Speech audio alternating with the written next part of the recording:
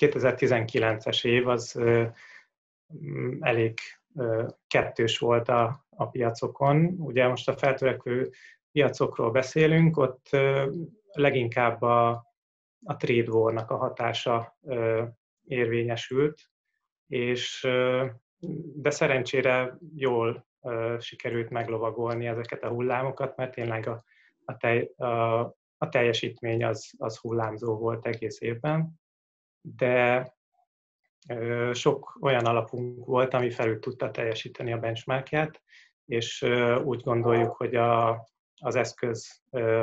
allokáció mellett ez volt a, a sikertitka ennek az alapnak az esetében.